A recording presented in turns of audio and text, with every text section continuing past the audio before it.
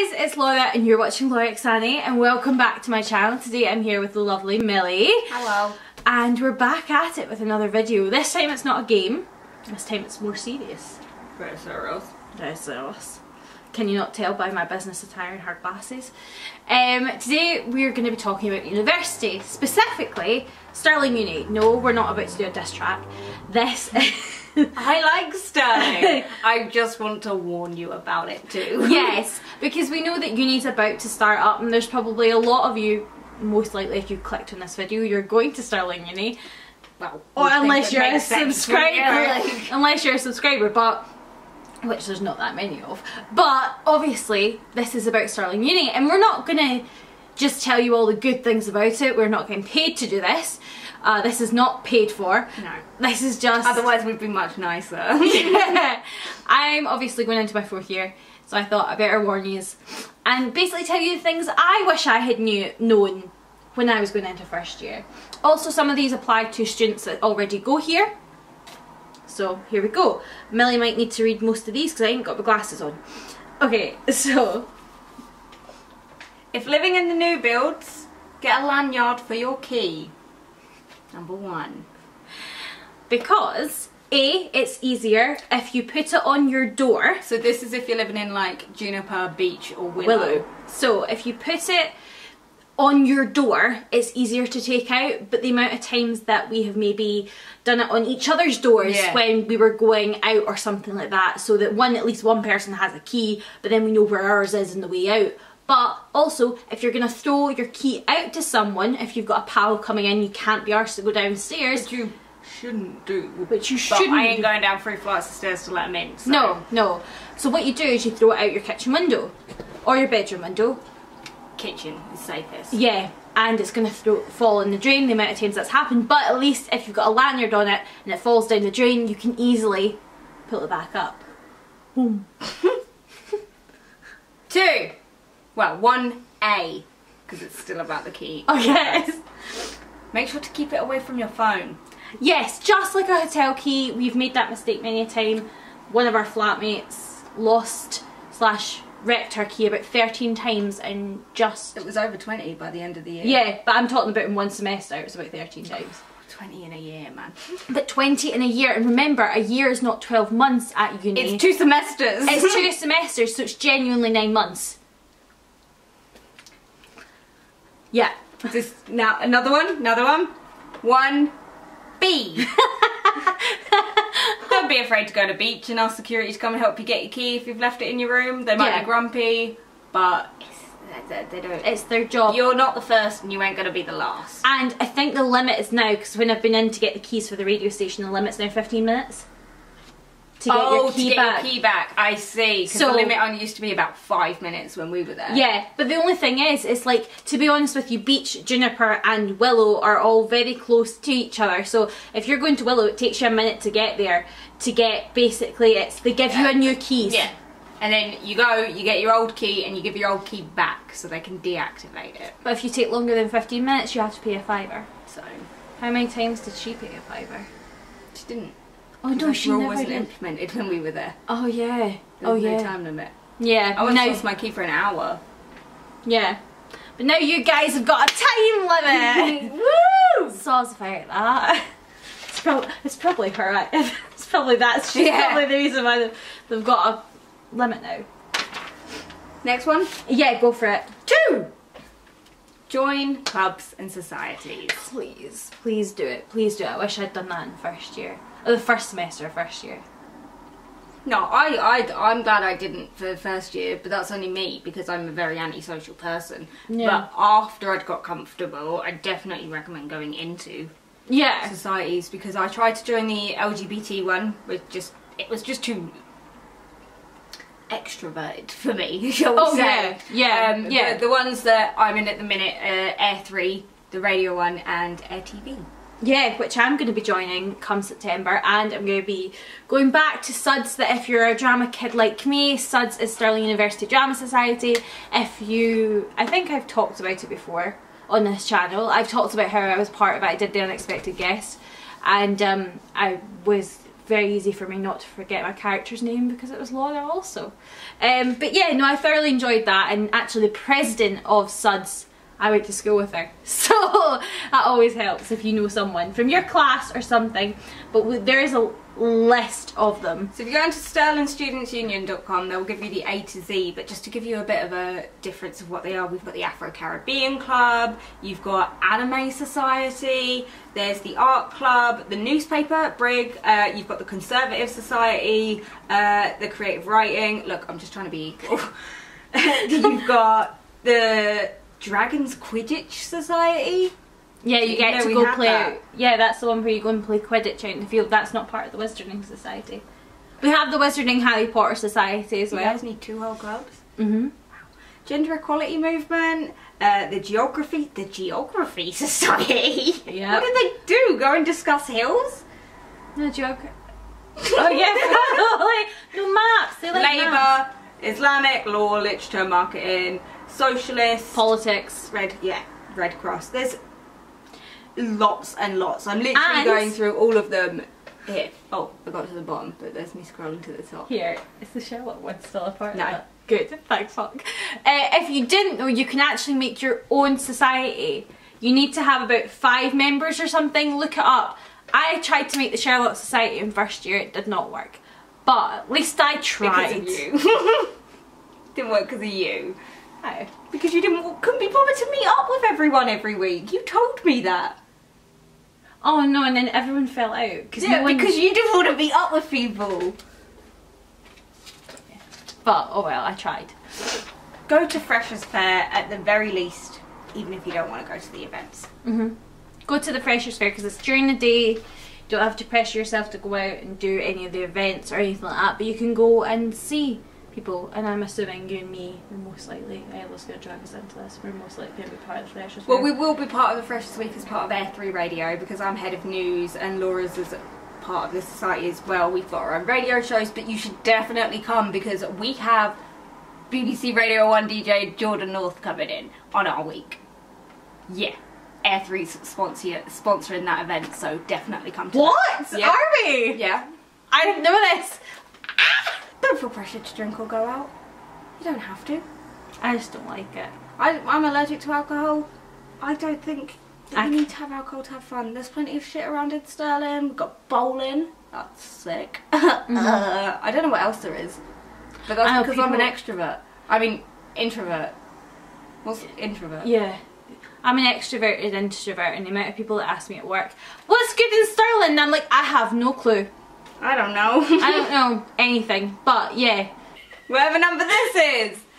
Attend your lectures. Yes, do it. Don't abuse. What is the recording called? Listen again. Don't abuse. Listen again. Just don't. Don't do it.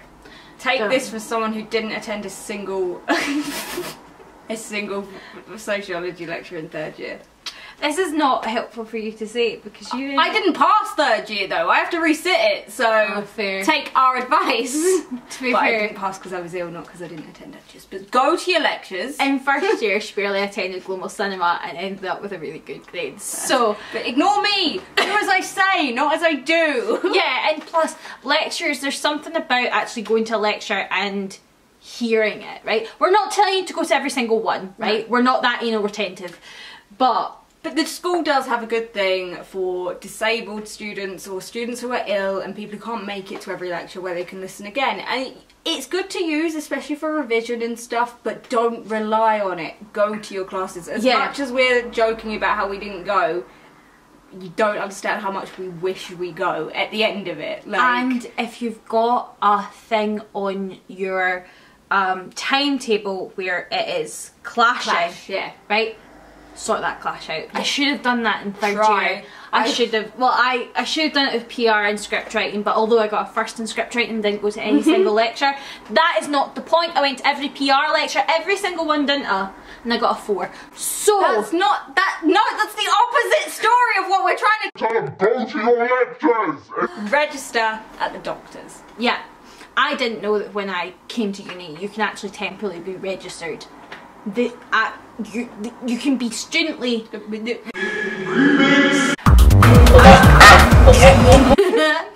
it can you can be registered as a student at your uni's doctors and also still be registered at home. Yeah, temporary patient registry. Yeah, I was not uh, aware of. Because it also has the dentist. So go there, use the uni stuff because it's so easy. And if you need to pick up a prescription, just walk over the bridge.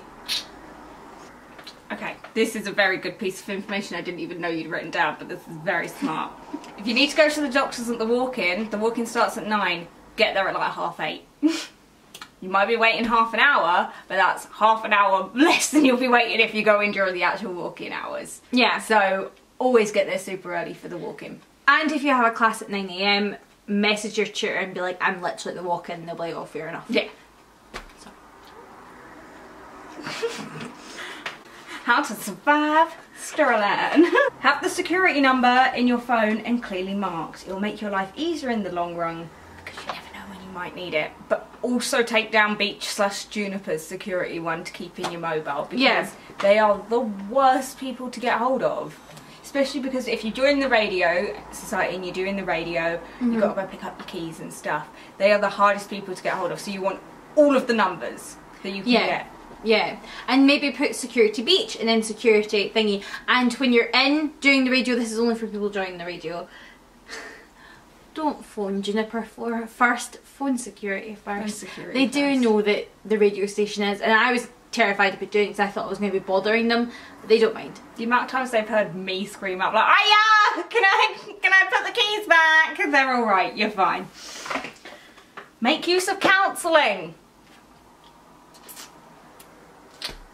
By the way, I wrote all these. Milly's just reading them out because I can't see. But she's like the way she's just like. I'm trying to figure out what they're saying and pr- project at the same time. Acting. Anyway, make use of counselling. yeah, not a funny If you can't guess by our dyed hair, we have mental health problems. Fucking hell. So series on that. That's not a joke, there is a series coming soon. But yes, I've spoken about mine before, kind of briefly, not in depth like I'm gonna do, but I wish I'd started counselling in Well, to be fair, I did get, to be fair, the counsellor, I'll put this way, find put it- what works for you. Yeah, But put- the uni has a lot of options. well, to put it this way, basically, when I went to the uni doctors about my depression anxiety, I actually got diagnosed with it there. So it I took, lost my anxiety records, didn't I, coming up Yeah. here in first year, and all it took was them to have one in like appointment with me, and they were really good, and I got put on meds straight away. Yeah, Don't get me wrong, a lot of people have issue with the mental health stuff at the, at the uni, and it's fair that they do. I am not saying that these people are wrong because No. I think mental health issues in general need a lot more support and Yeah. help, don't they? But I think Yeah. the options available at Stirling Uni have definitely helped me, and I think that even though yeah, more money needs to be put in and more time and more people and training, it's still better than what you're going to get in a lot of other places. well, I Um, obviously hold it quite high Yeah. as being the only place that actually diagnosed me. But not what I just mean. that, you can have counselling, but you can also have mental health mentors, Yes. which is what I've got. Um, Yeah. Mm-hmm. You're looking to get one as well, so they're slightly different from counselling. I love my mental health mentor, she's my favourite person, but you can also do, they do stress classes, they do anxiety classes. And you can do the therapy at the the actual doctors, Yeah. not you part can of do the it as uni. a, away from It's the uni as well. part as of the NHS, yeah. Because the doctors can, is obviously not part of the uni, but it's just the Yeah. uni doctors. But um, what was I was going to say? But of this is what I was going to say. Needs assessment. Get that in as soon as I can. I know that I have left this video really long, so maybe if you're thinking to go to Stirling next year, start thinking if you have a disability. We're not joking about this. We're not No. trying to be like, oh, go really early, but they do have a high influx because you were saying that Stirling Uni is one of the only uni that allows. It's like, one of the only ones that allows like uh, ex-convicts and things like that without asking. So obviously, more people with mental health issues are more likely to go to these places, Yeah. etc., etc. We're talking about sociological stuff, but in general, if you need help, Stirling will try to give it to you. yeah, They really will. yeah. So I think with Aruas, uh, don't Yeah. forget to ask about DSA. I didn't even know about that as a disabled student, disabled students allowance. So definitely have a yeah, look. So- just be get yourself support. the minute you get accepted, have a look and see what Stirling offers for you. Um, I think what I'll do is I'll leave links down below to what Stirling does offer within the mental health bit. Yes. Because then that can, to the student services Yeah. hub, etc., etc. which will allow you to have a quick look through. But if you are to apply for it now, you will have to wait a bit of a time. Uh, for counselling, etc. yeah. If and you bug them, if you bug them, just bug them for a needs Bug assessment 'em. assessment.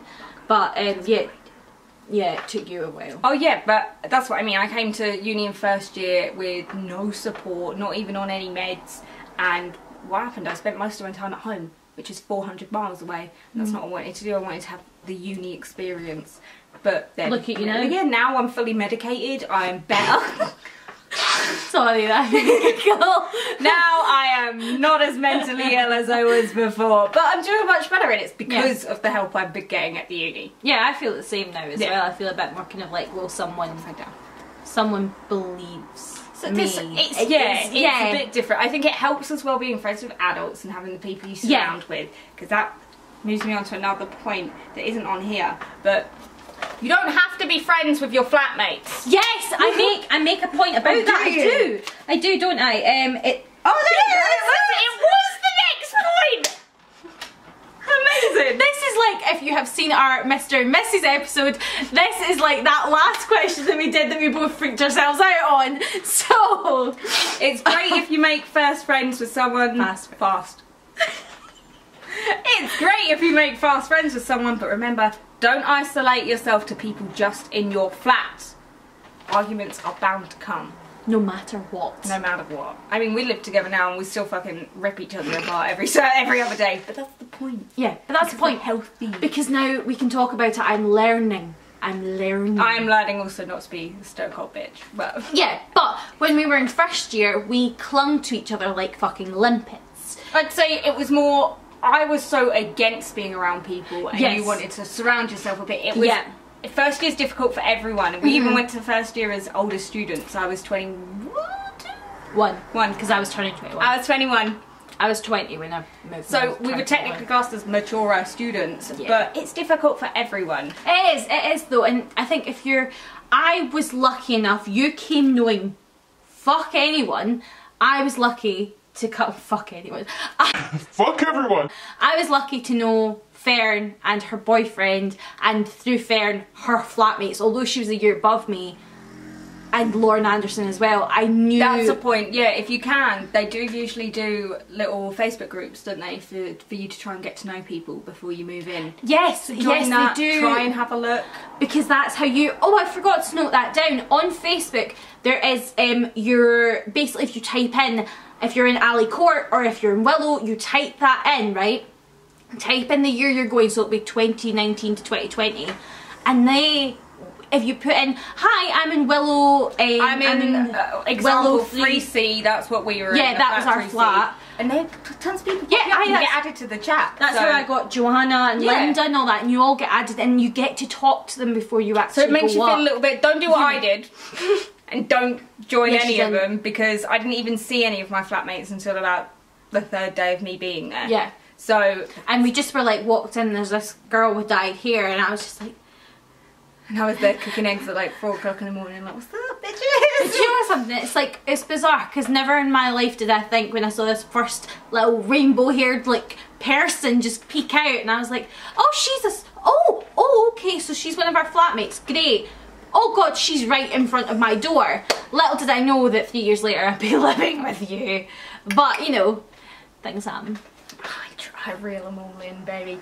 Uh, so yes, make friends with everyone. Uh, it's important to make friends in your courses, I'd say. Yes. Because when it comes to like group work, you gotta want Fuck friends. Don't be like me. I have no friends in sociology, and Yes. fuck, I don't have any friends in sociology, and I'm trying to help you learn from my mistake. Hello guys, I know I've left you on an ending of just seeing Tina peek out by my boobs, um, but this is a mammoth video, so I decided to cut it into two parts. This is part one. Part two will be up on Thursday. Um, I hope you guys enjoyed this video so far. Um, and I'm excited for you to hear the rest of our tips for Stirling Uni. If you're going to Stirling Uni, drop me a comment down below or tweet me and Milly. Our ats are down below and let us know what you're most excited for. And we'll see you on Thursday for part two. See you guys then. Bye!